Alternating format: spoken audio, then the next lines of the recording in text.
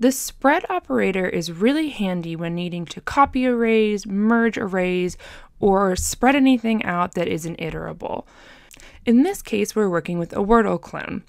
Here we need to take the guessed word and spread it out because we need to look at each individual letter, not just the word as a whole, because we need to figure out if the letters are in the right place or if they are in the word but not in the correct place.